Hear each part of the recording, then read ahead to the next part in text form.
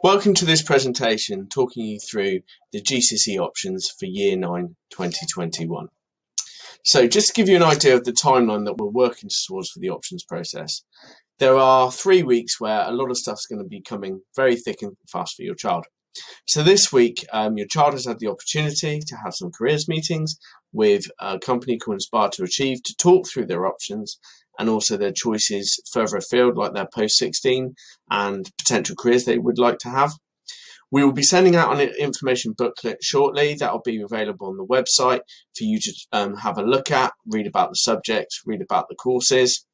And I've been going into form groups to give a presentation very similar to the one that you're watching now.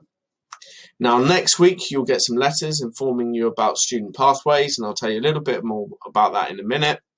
There will be parents and options evening for you to attend, so you can go and speak to teachers about the different courses on offer, as well as how your child is getting on.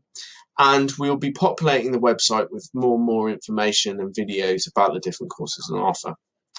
Then, on the week beginning the 10th of May, we will publish the options form, and students will be asked to fill that out within a certain time frame. So before I talk to you in a little bit more detail about the GCSE courses, just wanted to kind of go through a few do's and don'ts, and I've talked to the students about these as well. So the, my main advice to all students is to think about courses that they're good at, they're interested in, and they enjoy. And that's really important because students who often do well in subjects do it because they have a passion for it and an interest in it, and they have a natural aptitude for it. So that is a key question that every student should be thinking about. The other thing we encourage students to do, and the way that we set up our option blocks, is to encourage students to do a broad range of subjects, and that will really help them to prepare for their post 16 options and what they would like to do, where they can really specialise then in a particular field. We'll be putting lots of information up on the website. There'll be an information booklet, as I've said before, and we really, really advise your child to read that really carefully and think about the information and think about the courses. Subject teachers, heads of department, myself, and other members of staff will be around the school. And I advise your child if they've got any questions, any concerns, or anything they're not sure about in terms of the process or the courses to go and ask for advice. And finally, I want students to think really, really carefully about these choices. These are choices that are going to impact on what they study for the next two years. And so it needs to be done carefully and calmly and not rushed. Now, it's also important to talk about a few don'ts and things that students should avoid doing during this process. So, I have told the students very clearly that they need to think about the choices that are right for them.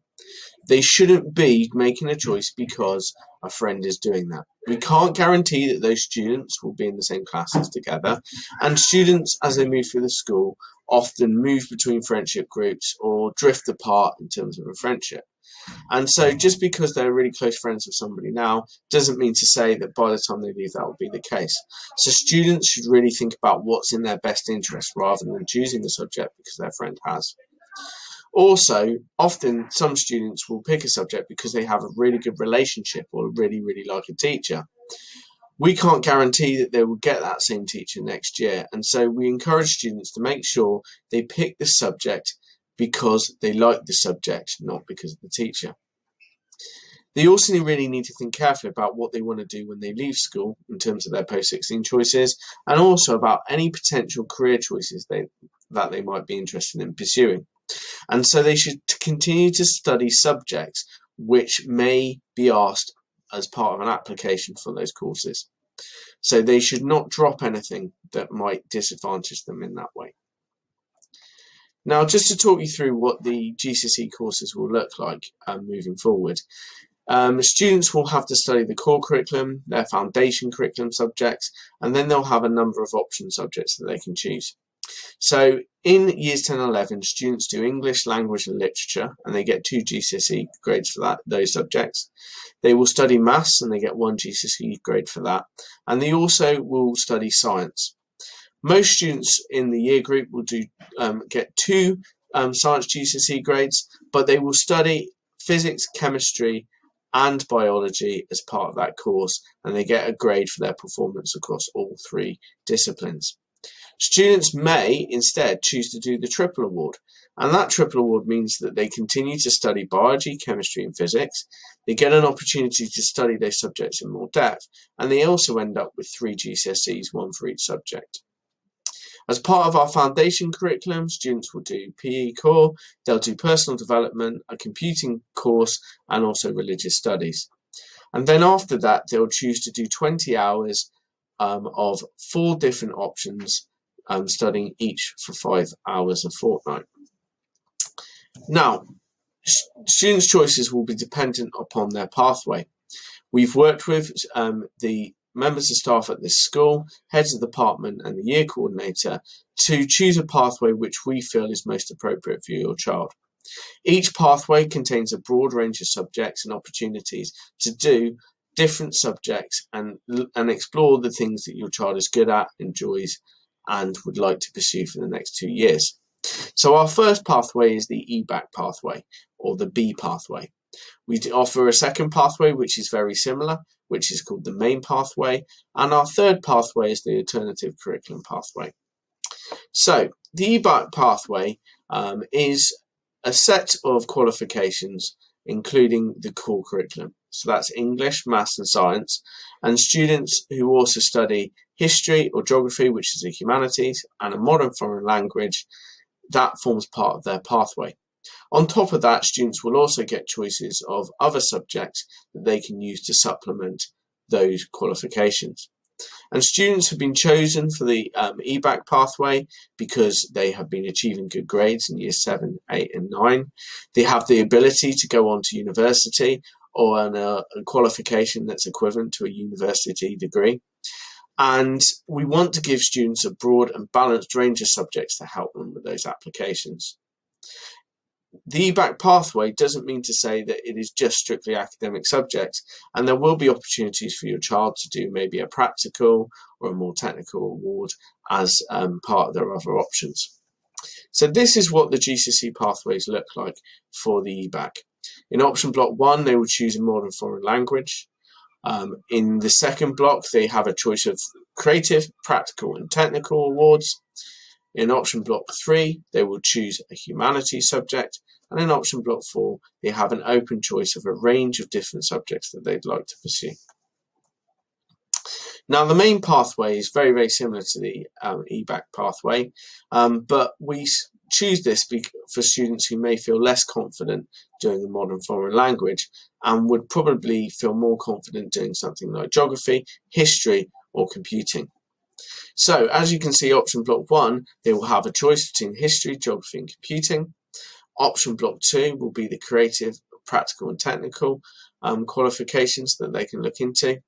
Option block three is a very similar option block in that sense. And then option block four is an open range of choices. Finally, the alternative curriculum pathway um, is a pathway that is developed for a very small number of students, and this is an invitation-based pathway from our SENCo, Mrs. Thompson. And if you um, have um, been chosen to do that pathway, you will be contacted with Mrs. Thompson to discuss what this is like and why you've been chosen to do this. So, just a couple of key bits of information before the end of this presentation in terms of things that students can't do that's really, really important. So when the options form is published, students will get a choice to put two preferences in for each option block. And the reason why we do that is sometimes for a variety of reasons we're unable to fulfill the first preference. However, where we can, we make sure that students get their first preference. So students need to think really, really carefully about what they want to do in each option block. And if they can't do that, what would they seriously want to do instead? So in each option block, they cannot choose the same subject twice as their first preference. So, for example, computing is in a number of the option blocks. So if they really want to do computing, then they need to decide the option block where they want to do computing in and make that in their first preference. The option form that's filled out cannot have computing as the first preference each time. There are also a number of subjects that are assessed in a very, very similar way.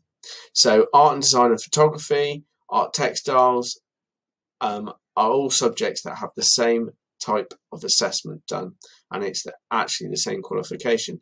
So students should not study combinations of these and opt to study just one of them. And finally, whilst it is possible to study a technology subject, in order to make sure students have a broad range of choices and have opportunities to be assessed in lots of different ways, we advise they make one choice of a technology subject. So that's either design technology, for instance, or food preparation, and to think really, really carefully about uh, combining two technology subjects in their choices. So good luck with the um, options process. I hope that gives you a bit more information about how the GCSE courses will look, the option blocks for your child, and what they need to do moving forward.